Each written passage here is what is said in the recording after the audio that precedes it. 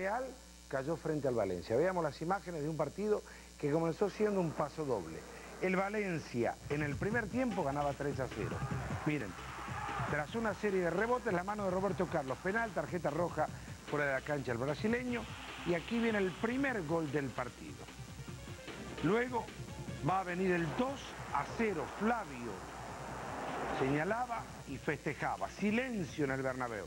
Vean este, de arco a arco casi, el piojo se va por detrás de las espaldas de un marcador, acomoda la zurda y pone el 3 a 0. Se recompuso el Real en el segundo tiempo, con más amor propio que otra cosa. Ahí está Morientes que va a señalar el 3 a 1. Y otra vez Morientes para el 3 a 2. Pero ya era tarde y esto no conforma. Le quieren comer al técnico del Real, que sigue...